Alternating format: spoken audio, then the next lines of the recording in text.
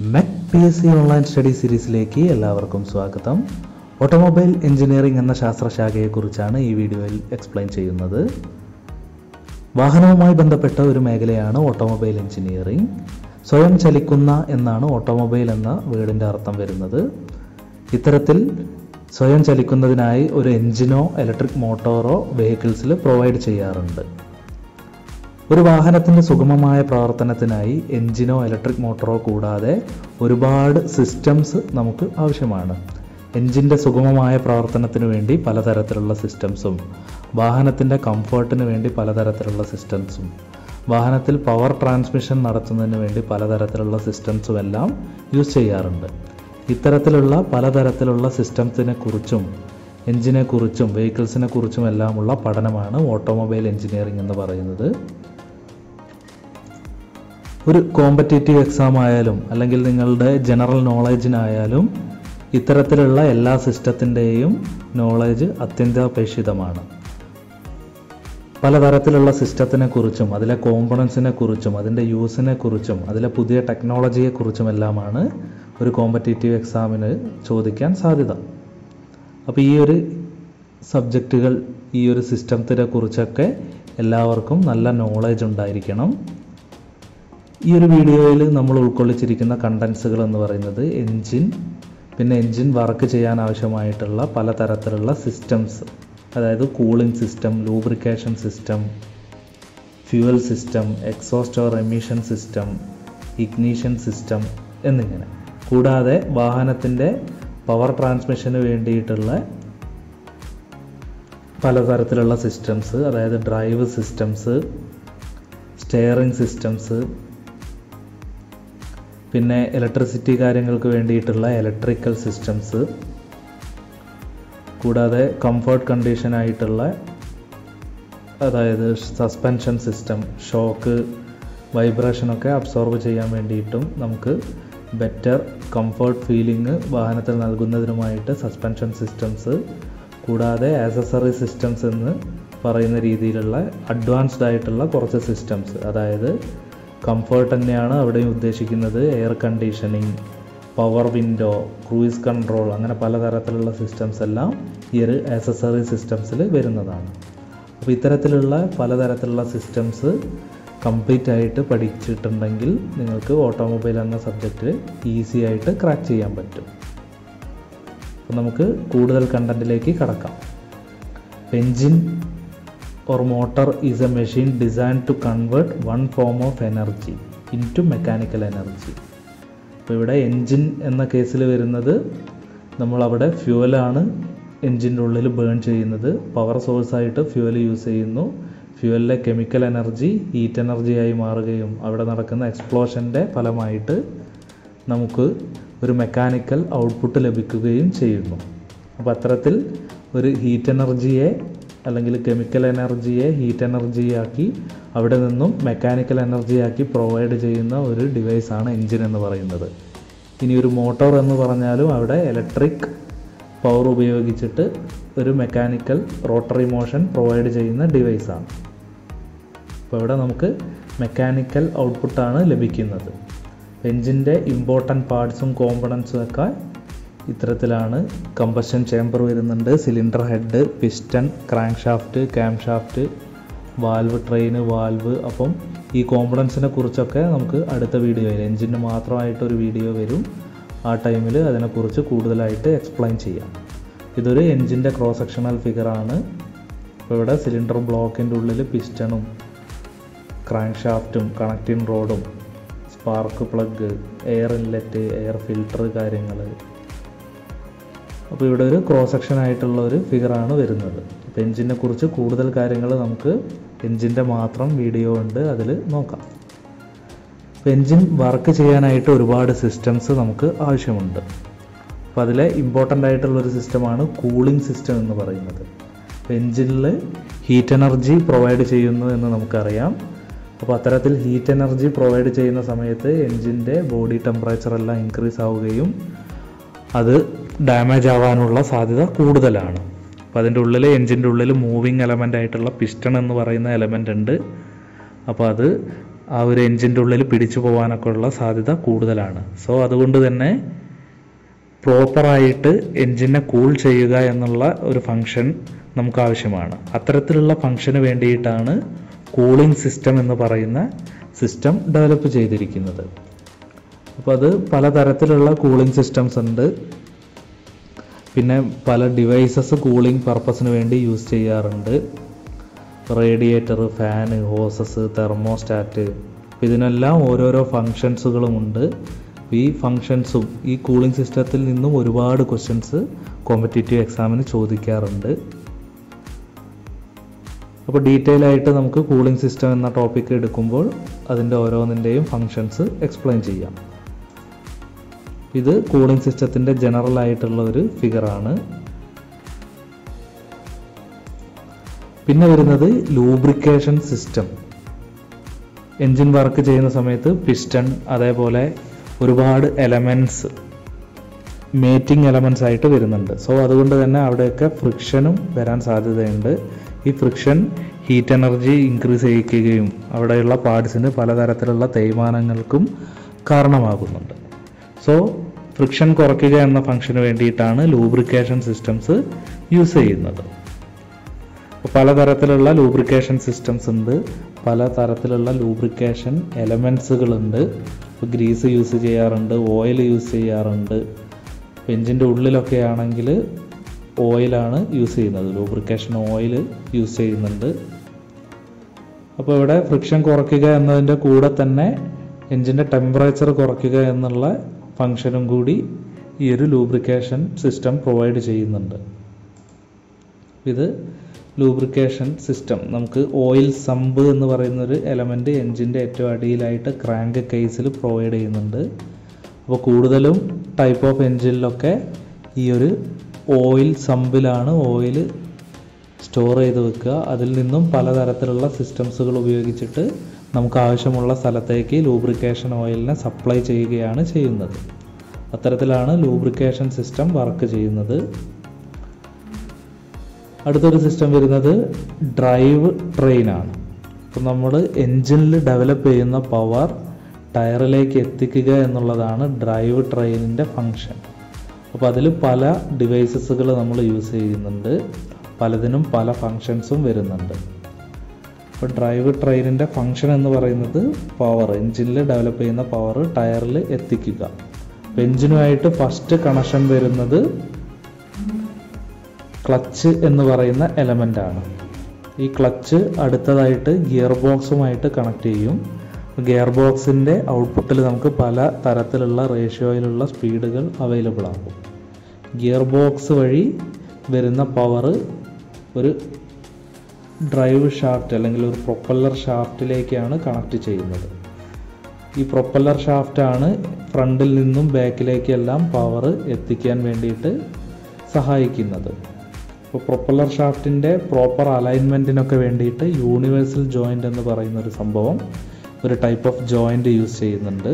അപ്പോൾ അത് angle അഡ്ജസ്റ്റ്മെന്റ്സും length അഡ്ജസ്റ്റ്മെന്റും ഒക്കെ വരുന്ന സമയത്ത് അതായത് വെഹിക്കിൾ ഒരു കുഴിയിൽ ചാടുകയോ അത്തരത്തിലൊക്കെ സംഭവിക്കുമ്പോൾ ഇവിടെ പലതരത്തിലുള്ള ആംഗിൾ മൂവ്മെന്റ്സും അതിനനുസരിച്ചിട്ട് പ്രൊപ്പലർ ഷാഫ്റ്റിന്റെ ലെങ്ത് അഡ്ജസ്റ്റ്മെന്റും വരാറുണ്ട്.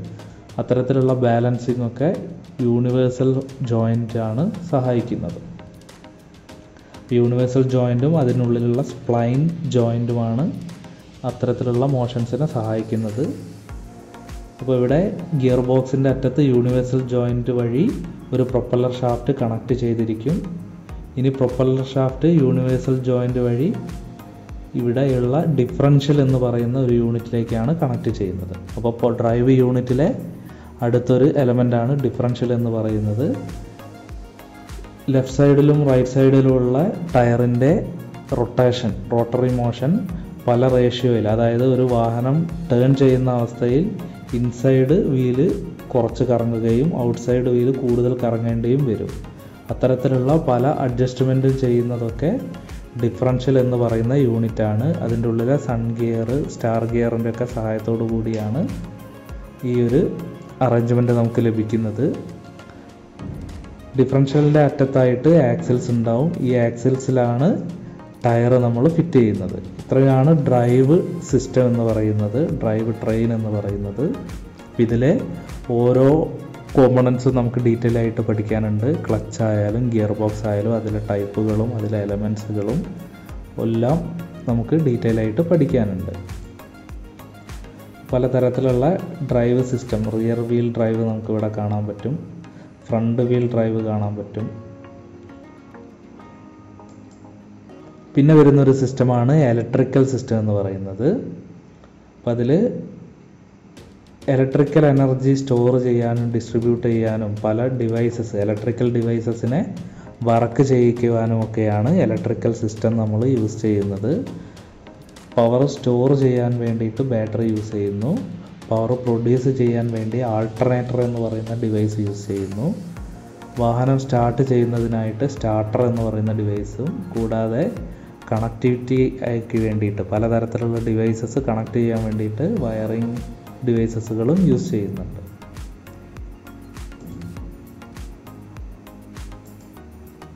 പിന്നെ വരുന്നൊരു സിസ്റ്റമാണ് ഫ്യൂവൽ സിസ്റ്റം എന്ന് പറയുന്നത്. ഇപ്പോൾ ഫ്യൂവൽ സിസ്റ്റത്തിന്റെ ഫങ്ഷൻ നമുക്കറിയാം എൻജിനിൽ ഫ്യൂവൽ ബേൺ ചെയ്തിട്ടാണ് മെക്കാനിക്കൽ എനർജി ഔട്ട്പുട്ട് ലഭിക്കുകയും ഓട്ടോമൊബൈൽ എന്ന ആ ഒരു വെഹിക്കിൾ ഓടിത്തുടങ്ങുകയും ചെയ്യുന്നത്. ഇപ്പോൾ ഫ്യൂവൽ സിസ്റ്റം എന്ന് പറയുന്നത് നമ്മൾ എനർജി സപ്ലൈ ചെയ്യുന്നൊരു സിസ്റ്റമാണ് അപ്പോൾ ഫ്യൂവൽ പ്രോപ്പറായിട്ടുള്ള അളവിൽ എഡ്ജിലേക്ക് സപ്ലൈ ചെയ്യുന്നതിന് വേണ്ടിയിട്ടാണ് ഈ ഒരു ഫ്യൂവൽ സിസ്റ്റം യൂസ് ചെയ്യുന്നത്. അപ്പോൾ നമ്മൾ ടാങ്കിൽ ഫിൽ ചെയ്യുന്ന പെട്രോളിനെ കറക്റ്റ് റേഷ്യോയിൽ എൻജിന്റെ ഉള്ളിലേക്ക് എത്തിക്കുക എന്നുള്ളതാണ് ഫ്യൂവൽ സിസ്റ്റത്തിന്റെ ഫങ്ഷൻ ഇപ്പോൾ പലതരത്തിലുള്ള ഫ്യൂവൽ നമ്മൾ യൂസ് ചെയ്യുന്നുണ്ട്. പെട്രോൾ ഡീസലാണ് അതിൽ ഏറ്റവും കൂടുതലായിട്ട് യൂസ് ചെയ്യുന്നത്. പിന്നെ എൽ പി ജി പ്രൊപ്പൈനായിട്ടുള്ള എൽ പി ജി യൂസ് ചെയ്യുന്നുണ്ട്. നാച്ചുറൽ ഗ്യാസ് ഇപ്പോൾ കൂടുതലായിട്ട് യൂസ് ചെയ്തുകൊണ്ടിരിക്കുന്നുണ്ട്. അപ്പോൾ അത്തരത്തിലുള്ള പവൽ പലതരത്തിലുള്ള ഫ്യൂവൽസ് യൂസ് ചെയ്യുന്നതനുസരിച്ചിട്ട് പലതരത്തിലുള്ള റേഷ്യോ ആണ് നമ്മൾ യൂസ് ചെയ്യേണ്ടത്. അപ്പോൾ ഇവിടെ കറക്റ്റ് എയർ ഫ്യൂവൽ റേഷ്യോ എന്ന് പറയുന്നത് fourteen point seven is to one. അപ്പോൾ സ്റ്റോഷ്യോമെട്രിക് റേഷ്യോ എന്നൊക്കെ പറയുന്ന റേഷ്യോ ഒക്കെ വരുന്നുണ്ട്. അപ്പോൾ പല തരത്തിലുള്ള ഫ്യൂവൽ ആവുന്ന സമയത്ത് പല തരത്തിലുള്ള റേഷ്യോ ആണ് നമുക്ക് വരുന്നത്. ഇപ്പോൾ പെട്രോൾ ആവുന്ന സമയത്ത് ഒരു റേഷ്യോ ആയിരിക്കും. ഡീസൽ ആവുമ്പോൾ ഇവിടെ ട്വന്റി ടു ഈസ്റ്റ് വണ്ണ് ഇത് പെട്രോളിന്റെ റേഷ്യോ ആണ്. അങ്ങനെ പല തരത്തിലുള്ള ഫ്യൂവലിനനുസരിച്ചിട്ട് പല തരത്തിലുള്ള റേഷ്യോസ് വരുന്നുണ്ട്. അപ്പോൾ അത് പ്രൊവൈഡ് ചെയ്യാൻ വേണ്ടിയിട്ട് ഒരുപാട് ഡിവൈസസുകൾ ഈ ഒരു ഫ്യൂവൽ സിസ്റ്റത്തിൽ യൂസ് ചെയ്യേണ്ടതുണ്ട്. അപ്പോൾ ഫ്യൂവൽ പമ്പ് യൂസ് ചെയ്യണം. ഫ്യൂവൽ ഫിൽട്ടർ യൂസ് ചെയ്യണം. Injector distributor carburettor regulator fuel tank lines E C M അങ്ങനെ ഒരുപാട് ഡിവൈസസുകൾ നമ്മൾ ഇതിൽ യൂസ് ചെയ്യേണ്ടതുണ്ട്. അപ്പോൾ അത് പെട്രോൾ എഞ്ചിനാകുമ്പോൾ ചില ഡിവൈസസുകളായിരിക്കും വരിക. ഡീസൽ എഞ്ചിനാകുമ്പോൾ ചില ഡിവൈസസുകൾ ഒഴിവാക്കും അപ്പോൾ ഫ്യൂവൽ സിസ്റ്റത്തിൽ അത്തരത്തിലുള്ള രണ്ട് ടൈപ്പ് പെട്രോൾ ആകുമ്പോൾ ഏതൊക്കെ സിസ്റ്റംസ് വരും ഡീസൽ ആകുമ്പോൾ ഏതൊക്കെ സിസ്റ്റംസ് വരും എന്നുള്ളതാണ് പഠിക്കേണ്ടത്.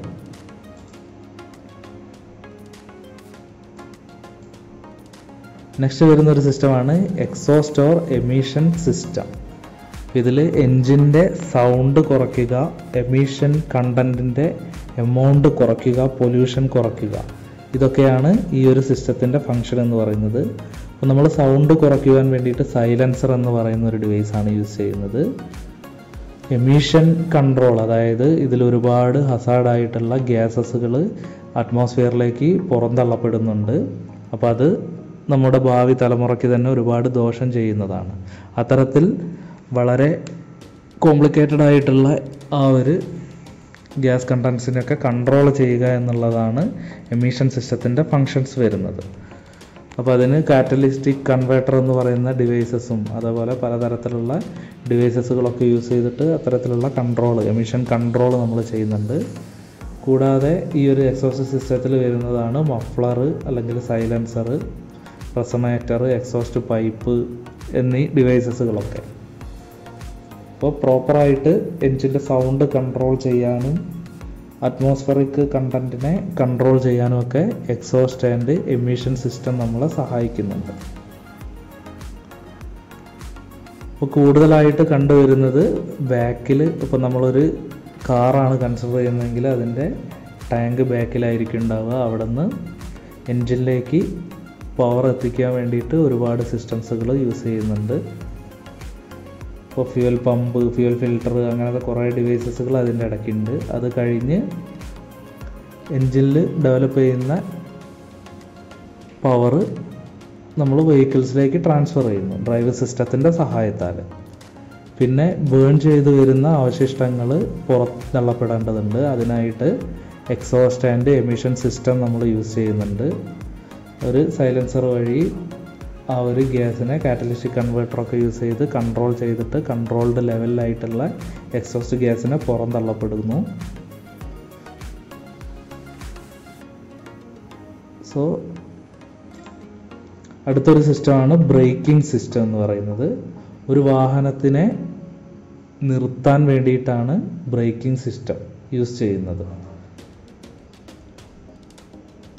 ഒരു വാഹനം സ്ലോ ചെയ്യാനും സ്റ്റോപ്പ് ചെയ്യാനും ഒക്കെ ബ്രേക്കിംഗ് സിസ്റ്റം യൂസ് ചെയ്യുന്നുണ്ട്. അപ്പോൾ നമ്മൾ വാഹനത്തിന്റെ ടയറിലാണ് ആ ഒരു ബ്രേക്കിംഗ് ആക്ഷൻ പ്രൊവൈഡ് ചെയ്യുന്നത്. അപ്പോൾ അതിന് വേണ്ടിയിട്ട് ഒരു ബ്രേക്കിംഗ് സിസ്റ്റം തന്നെ നമുക്ക് ആവശ്യമുണ്ട്. ഒരുപാട് എലമെന്റ്സ് നമുക്ക് അതിനാവശ്യമുണ്ട് പല ടൈപ്പിലുള്ള ബ്രേക്കിംഗ് സിസ്റ്റംസ് ഓട്ടോമൊബൈൽസിൽ യൂസ് ചെയ്യുന്നുണ്ട്. അതിൽ ഏറ്റവും ഇമ്പോർട്ടന്റ് ആയിട്ട് അല്ലെങ്കിൽ കൂടുതലായിട്ട് യൂസ് ചെയ്യുന്ന ഒരു ടൈപ്പ് സിസ്റ്റമാണ് ഹൈഡ്രോളിക് ബ്രേക്ക് സിസ്റ്റം എന്ന് പറയുന്നത്. ഹൈഡ്രോളിക് ബ്രേക്ക് സിസ്റ്റത്തിൽ പാസ്കൽ സ്ലോ ബേസ് ചെയ്തിട്ട് വർക്ക് ചെയ്യുന്നു. അതിൽ മാസ്റ്റർ സിലിണ്ടർ ഉണ്ടാവും വീൽ സിലിണ്ടർ ഉണ്ടാവും അതിന്റെ ഉള്ളിലുള്ള പിസ്റ്റൻസ് അല്ലെങ്കിൽ കാലിപ്പേഴ്സ് ഉണ്ടാവും. പിന്നെ ബ്രേക്ക് ഫ്ലൂയിഡ് ലൈൻസ് ഹോസ് അപ്പോൾ ഈ ഒരു ഹൈഡ്രോളിക് എനർജി ഉപയോഗിച്ചിട്ട് ബ്രേക്ക് ഷൂവിനെ ആക്ടിവേറ്റ് ചെയ്തിട്ട് ടയറിനെ സ്ലോ ചെയ്യിക്കുകയോ സ്റ്റോപ്പ് ചെയ്യിക്കുകയാണ് ബ്രേക്കിംഗ് സിസ്റ്റത്തിൽ നമ്മൾ ചെയ്യുന്നത്. ഇത് ഒരു ഡിസ്ക് ബ്രേക്കിന്റെ ഒരു ഫിഗറാണ് ഡ്രം ബ്രേക്ക് എന്ന് പറയുന്ന വേറൊരു അറേഞ്ച്മെന്റ് ആണ് ഇവിടെ കാണിച്ചിരിക്കുന്നത്. അപ്പോൾ ഇതിനെക്കുറിച്ചെല്ലാം ഡീറ്റെയിൽ ആയിട്ട് നമുക്ക് പഠിക്കേണ്ടതുണ്ട്. പലതരത്തിലുള്ള സിസ്റ്റംസ് ഏതൊക്കെയാണ് അതിന്റെ ബേസിക്കായിട്ട് എന്തൊക്കെ കാര്യങ്ങളുണ്ട് എന്നുള്ളതൊക്കെ കൂടുതൽ ഡീറ്റെയിൽ ആയിട്ട് നമുക്ക് പഠിക്കാം. അടുത്തൊരു സിസ്റ്റമാണ് ഇഗ്നീഷ്യൻ സിസ്റ്റം എന്ന് പറയുന്നത്. ഇഗ്നീഷ്യൻ സിസ്റ്റത്തിന്റെ യൂസ് എന്ന് പറയുന്നത് ഫ്യുവലിനെ ബേൺ ചെയ്യിക്കുക എന്നുള്ളതാണ്. അപ്പോൾ ഫ്യുവൽ സിസ്റ്റം കറക്റ്റ് റേഷ്യോയിലുള്ള ഫ്യുവലിനെ എൻജിന്റെ ഉള്ളിൽ എത്തിക്കുന്നുണ്ട്. അത്തരത്തിൽ എൻജിന്റെ ഉള്ളിലെത്തിയ ഫ്യുവലിനെ ബേൺ ചെയ്യിക്കുക എന്നുള്ളതാണ് ഇഗ്നീഷ്യൻ സിസ്റ്റത്തിന്റെ ഫങ്ഷൻ അപ്പോൾ കറക്റ്റ് ബേൺ ചെയ്യിക്ക് വേണ്ടിയിട്ട് സ്പാർക്ക് പ്ലഗ് യൂസ് ചെയ്യാറുണ്ട്. Distributor ignition switch ignition coil അങ്ങനെ ഒരുപാട് ഡിവൈസസുകൾ യൂസ് ചെയ്യുന്നുണ്ട്. രണ്ട് തരത്തിലുള്ള ഇഗ്നീഷ്യൻ സിസ്റ്റംസ് ആണ് നമ്മൾ യൂസ് ചെയ്യുന്നുള്ളത്. സ്പാർക്ക് ഇഗ്നീഷനും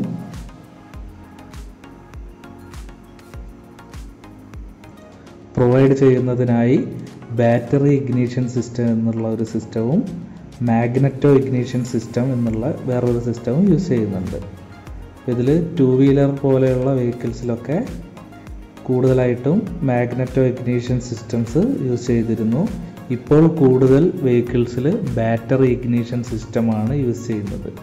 അപ്പോൾ അത്തരത്തിലുള്ള വെഹിക്കിൾസ് ഒരു ബാറ്ററിയുടെ സഹായത്താൽ മാത്രമേ നമുക്ക് പ്രവർത്തിപ്പിക്കുവാൻ പറ്റുകയുള്ളൂ. മാഗ്നറ്റോ ഇഗ്നീഷൻ സിസ്റ്റം ആവുന്ന സമയത്ത് അതിൽ ബാറ്ററി ഉണ്ടാവില്ല. ഇതിലെ എലമെൻസിനെ കുറിച്ചും വർക്കിങ്ങിനെ കുറിച്ചും എല്ലാം നമുക്ക് അതിന്റേതായ വീഡിയോയിൽ നോക്കാം. പിന്നെ വരുന്നൊരു സിസ്റ്റമാണ് സ്റ്റെയറിംഗ് സിസ്റ്റം എന്ന് പറയുന്നത്. ഒരു വാഹനത്തിനെ കൺട്രോൾ ചെയ്യാൻ വേണ്ടി നമുക്ക് ലെഫ്റ്റിലേക്കോ റൈറ്റിലേക്കോ ഒക്കെ അതിനെ മൂവ് ചെയ്യിക്കുവാനൊക്കെ സഹായിക്കുന്ന ഒരു സിസ്റ്റമാണ് സ്റ്റെയറിംഗ് സിസ്റ്റം എന്ന് പറയുന്നത്. പല തരത്തിലുള്ള മെക്കാനിസംസ് സ്റ്റെയറിംഗ് സിസ്റ്റത്തിൽ യൂസ് ചെയ്യുന്നുണ്ട്. ഒരു ഡ്രൈവർക്ക് വാഹനത്തിനെ കൺട്രോൾ ചെയ്യാൻ സഹായിക്കുന്നത് സ്റ്റെയറിംഗ് സിസ്റ്റമാണ് അപ്പോൾ സ്റ്റെയറിംഗ് സിസ്റ്റത്തിലെ കോമ്പണൻസ് എന്ന് പറയുന്നത് സ്റ്റെയറിംഗ് വീൽ വരുന്നുണ്ട് steering gear box power steering pump steering linkage rack and pinion joints tie rod idler arm എന്നിങ്ങനെ ഒരുപാട് ഡിവൈസസുകൾ സ്റ്റെയറിംഗ് സിസ്റ്റത്തിൽ യൂസ് ചെയ്യുന്നുണ്ട്. കൂടാതെ പല ടൈപ്പ് മെക്കാനിസങ്ങളും സ്റ്റെയറിംഗ് സിസ്റ്റത്തിൽ യൂസ് ചെയ്യുന്നുണ്ട്. ഒരു സ്റ്റെയറിംഗ് സിസ്റ്റത്തിന്റെ ബേസിക് അറേഞ്ച്മെന്റ് ആണ് ഇവിടെ നമുക്ക് കാണാൻ പറ്റുന്നത്. അടുത്തൊരു സിസ്റ്റമാണ് സസ്പെൻഷൻ സിസ്റ്റം എന്ന് പറയുന്നത്. ഇതൊരു ഷോക്ക് അബ്സോർബിംഗ് ഡിവൈസ് ആണ്. അപ്പോൾ വാഹനത്തിൽ ഡെവലപ്പ് ചെയ്യുന്ന വൈബ്രേഷനും ഷോക്കും നമുക്ക് റോഡിന്റെ മുകളിൽ നിന്നും കിട്ടുന്ന ഷോക്കും കാര്യങ്ങളും ഒക്കെ കസ്റ്റമറിൽ എത്തിക്കാതെ സഹായിക്കുന്ന ഒരു ഡിവൈസ് അല്ലെങ്കിൽ വാഹനത്തിനെ മൊത്തത്തിൽ കൺട്രോൾ ചെയ്യുന്ന ഒരു ഡിവൈസ് അല്ലെങ്കിൽ ഒരു സിസ്റ്റമാണ് സസ്പെൻഷൻ സിസ്റ്റം എന്ന് പറയുന്നത്. അപ്പോൾ അതിൽ പലതരത്തിലുള്ള സസ്പെൻഷൻ സിസ്റ്റംസും പലതരത്തിലുള്ള എലമെൻസുകളും യൂസ് ചെയ്യാറുണ്ട്. Struts shock spring control arm ball joints knuckle joint dampers അങ്ങനെ ഒരുപാട് കാര്യങ്ങൾ സസ്പെൻഷന് വേണ്ടിയിട്ട് വാഹനത്തിൽ യൂസ് ചെയ്യാറുണ്ട്. ഇവിടെ നമുക്ക് പലതരത്തിലുള്ള സ്പ്രിങ്ങുകളും കാര്യങ്ങളും ഡാമ്പർ സ്പ്രിങ് ആണ് ഇവിടെ കാണിച്ചിരിക്കുന്നത്. പിന്നെ പല ജോയിൻസുകളൊക്കെ കൊടുത്തിരിക്കുന്നതൊക്കെ പ്രോപ്പർ സസ്പെൻഷൻ സിസ്റ്റം ലഭിക്കുന്നതിനൊക്കെ വേണ്ടിയിട്ടായിരിക്കും. ആൻഡ് ലാസ്റ്റ് വരുന്ന ഒരു സിസ്റ്റമാണ് ആക്സസറി സിസ്റ്റം എന്ന് പറയുന്നത്. അപ്പോൾ ഇത് ഒരു കംഫോർട്ടിന് വേണ്ടിയിട്ടാണ് വാഹനത്തിൽ ഇത്തരത്തിലുള്ള സിസ്റ്റംസ് യൂസ് ചെയ്യുന്നത്. അപ്പം air conditioning heater power seats power windows cruise control navigation and sound system ഇവയെല്ലാം എയർ ആ ഒരു കംഫർട്ട് സിസ്റ്റംസ് അല്ലെങ്കിൽ ആക്സസറി സിസ്റ്റംസിൽ വരുന്ന സാധനങ്ങളാണ്. ഒരു വാഹനത്തിലെ പാസഞ്ചറിന് ബെറ്റർ കംഫർട്ട് പ്രൊവൈഡ് ചെയ്യിക്കുക എന്നുള്ളതാണ് ഈ ഒരു ആക്സസറി സിസ്റ്റത്തിന്റെ ഫങ്ഷൻ വരുന്നത്. അപ്പോൾ ഈ ഒരു സിസ്റ്റം വാഹനത്തിന് നിർബന്ധമല്ല. പക്ഷേ ബാക്കി എല്ലാ സിസ്റ്റംസും വാഹനം പ്രവർത്തിക്കുന്നതിന് നിർബന്ധമായിട്ടുള്ള ആണ്. മെക് പി എസ് സി ഒരു മെക്കാനിക്കൽ ഫൗണ്ടേഷൻ കോഴ്സ് പ്രൊവൈഡ് ചെയ്യുന്നുണ്ട്. Kerala P S C exam focus ചെയ്യുന്ന എല്ലാവർക്കും ഉപകാരപ്രദമാകുന്ന ഈ ഒരു കോഴ്സിന് നിങ്ങൾക്ക് ജോയിൻ ചെയ്യാൻ താല്പര്യമുണ്ടെങ്കിൽ ഡിസ്ക്രിപ്ഷൻ ബോക്സിലെ ലിങ്കിലെ ഗൂഗിൾ ഷീറ്റ് ഫില്ല് ചെയ്യേണ്ടതാണ്. ഈ ഒരു വീഡിയോ നിങ്ങൾക്ക് ഉപകാരപ്രദമാകുന്നു എന്ന് പ്രതീക്ഷിക്കുന്നു. Keep watching thank